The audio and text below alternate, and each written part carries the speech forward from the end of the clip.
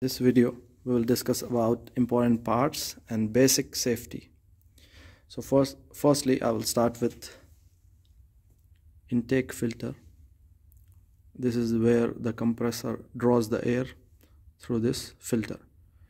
If the compressor is on you can feel a section suction on this filter through this hole. So this is in basically intake filter. Then you have output from the compressor. After it compresses the compressed air is coming out of this compressor from this outlet and it goes into the tank. And there is another bypass here.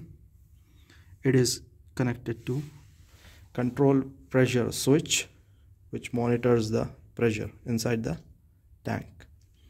And also this one will cut off the compressor if the required pressure is achieved. It's like a solenoid valve and also there is manual on and off. And below that you can see safety valve. This is for manual manual purging. If there is in case this malfunctions malfunctions then you have to do manually then this is the capacitor. And here here you have a pressure regulator. So there is a difference between pressure gauge and pressure regulator. Pressure gauge gives you the reading of the pressure the actual pressure uh, but the pressure regulator gives you the reading as well as you can adjust the pressure by this knob. You can increase and decrease the pressure. So you have additional pressure gauge to monitor inside the tank and you have a pressure regulator.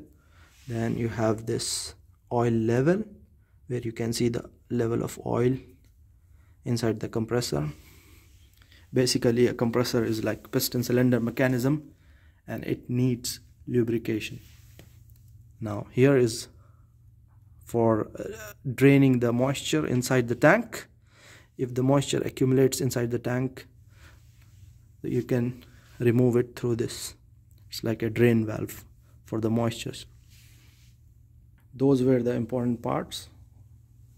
Now let us come to the basic safety of this compressor.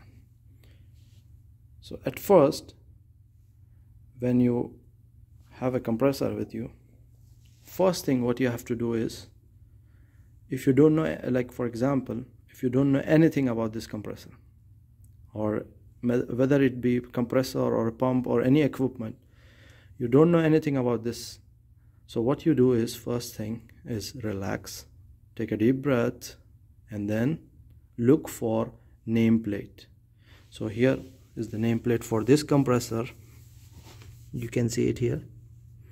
So basically a nameplate is a thing where you get the complete details about this compressor.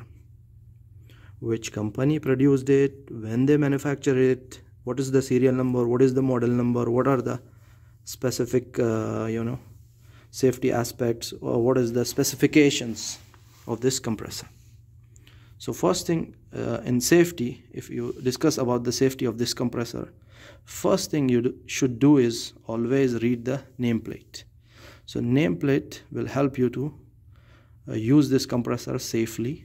So the first aspect which I will discuss today now is about the safety. So let's uh, see the nameplate. So in the nameplate you have this voltage here.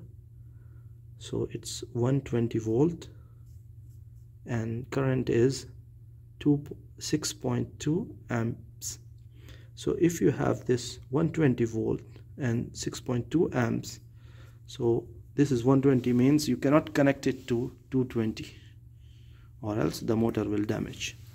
So 120 volt and 6.2 amperes. Now the problem comes here.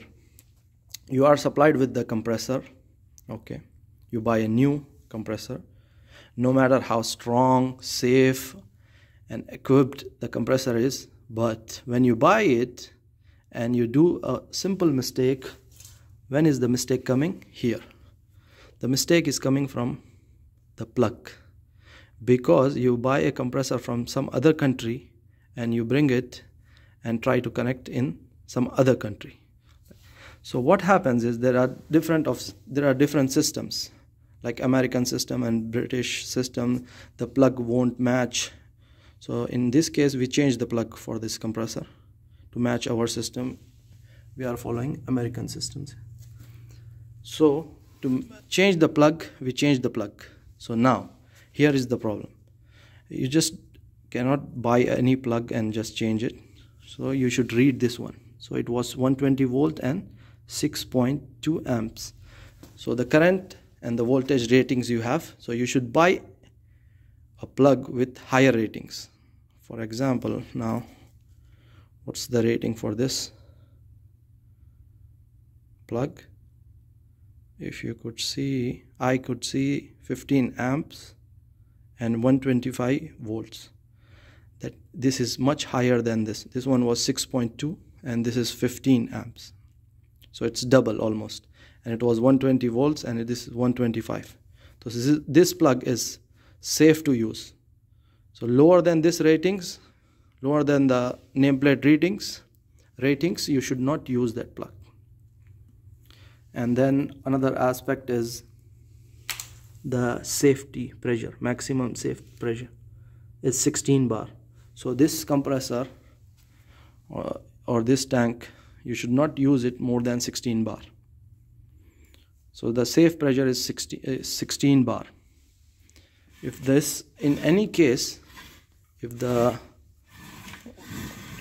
if this control pressure switch malfunctions or stops working or is uh, has an error so you have to purge it manually by using this safety valve.